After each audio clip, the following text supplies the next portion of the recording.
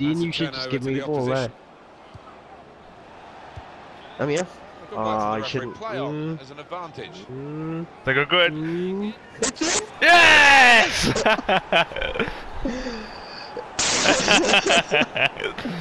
That's the first time I've ever seen a goal from inside It the is an own half. occupational Look at hazard for goalkeepers when you Like have an a bad halfway game, line. what happens. Yeah, quite right. And he's going to get absolutely hammered in the Oh my tonight, you god. see that. David Beckham, is that you?